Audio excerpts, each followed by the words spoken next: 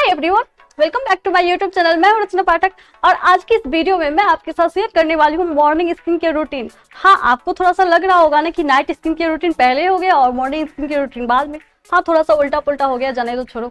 तो आज की इस वीडियो में मैं आपको जितने भी प्रोडक्ट्स बताऊँगी ना, वो सब मैं खुद यूज़ करती हूँ personally around one two year से। ये बॉयज़ गर्ल्स सभी के लिए है। बिकॉज़ स्किन केयर रूटीन ना हम सबको फॉलो करना चाहिए, सिर्फ़ गर्ल्स को ही नहीं बॉयज़ को भी, क्योंकि ये बहुत ही ज़्यादा इंपॉर्टेंट है। और अगर आप चाहते हो ना कि आपकी स्किन मॉर्निंग से लेकर इवनिंग तक खिली खिली रहे मतलब उसमें जान रहे तो आपको स्किन केयर रूटीन अभी से फॉलो करना स्टार्ट कर देना चाहिए। एक्चुअली मॉर्निंग के टाइम में ना हमारी स्किन पे एक नेचुरल निखार होता है बट दोपहर होते होते हमारी स्किन की जो चमक होती है ना, वो फीकी पड़ने लगती है। तो अगर आपको वो चमक मेंटेन रखना है ना तो आपको ये स्किन केयर रूटीन ज़रूर फॉलो करना चाहिए। सबसे पहले मॉर्निंग में उठकर मैं अपना फेस वॉश करती हूँ। फेस वॉश करने के लिए मैं यहाँ पे हिमालय नीम फेस वॉश का यूज़ कर रही हूँ। एंड जेंटली पूरे फेस पे और नेक एरिया पे टू टू थ्री मिनट तक मसाज करती हूँ ताकि मेरे फेस पे जितना भी डर डस्ट पोल्यूशन और ऑयल है, सब अच्छे से रिमूव हो जाए। मेरी स्किन को डीपली क्लीन करता है एंड मेरी स्किन को बिल्कुल भी ड्राई नहीं करता है। ये आपकी स्किन को around four to five hours तक नरिशमेंट प्रोवाइड करता है और साथ ही साथ अगर आपकी स्किन पर रेडनेस या फिर इचनिंग की प्रॉब्लम है तो, तो उसे भी ये ठीक करता है। And two to three minute बाद आप अपने फेस को वॉश कर लीजिए एंड आप देख सकते हैं कि मेरी स्किन बहुत ही ज़्यादा ब्राइट हो गई है और अगर आपको पिंपल या फिर एक्ने की प्रॉब्लम है तो आप clean and clear face wash का यूज़ कर सकते हैं।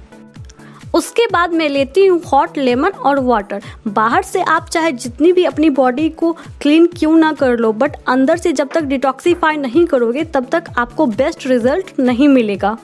तो सबसे पहले आपको एक ग्लास गुनगुना पानी करना है और उस पर हाफ़ लेमन ऐड कर देना है. देन आपको पी लेना है. मॉर्निंग के टाइम में लेमन और वाटर पीने के तो बहुत सारे फ़ायदे हैं, लेकिन मैं यहाँ पे एक दो फ़ायदा आपको बता देती हूँ. ये हमारी बॉडी को डिटॉक्सीफाई करता है और इसी वजह से हमारी स्किन पे ग्लो भी आता है।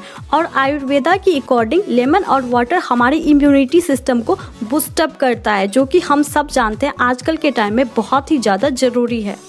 और उसके बाद ना मैं मसाज करती हूँ और ये ना मैं कभी भी स्किप नहीं करती हूँ डेली करती हूँ, क्योंकि मसाज करने से ना हमारे फेस का ब्लड सर्कुलेशन बहुत ही अच्छे से होता है और साथ ही साथ फेस की टाइटनेस भी बनी रहती है। और ब्लड सर्कुलेशन होने की वजह से हमारी स्किन पे ग्लो भी आ जाता है। तो मसाज करने के लिए मैं यहाँ पे एलोवेरा जेल यूज़ कर रही हूँ। आपको थोड़ा सा एलोवेरा जेल लेना है और पूरे फेस पे अच्छे से अप्लाई कर लेना है। देन मसाज करना है सर्कुलर मोशन में और फिर अच्छे से मसाज करने के बाद 25 टू 30 मिनट तक आपको ऐसे ही छोड़ देना है। कुछ भी फेस पे अप्लाई नहीं करना है।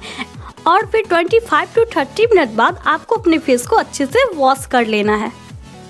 फिर मैं टोनर अप्लाई करती हूँ पूरे फेस पे। टोनर के लिए मैं यहाँ पे रोज वाटर का यूज़ कर रही हूँ। इसको जस्ट डैपिंग मोशन में आपको अपने पूरे फेस पे अच्छे से अप्लाई कर लेना है।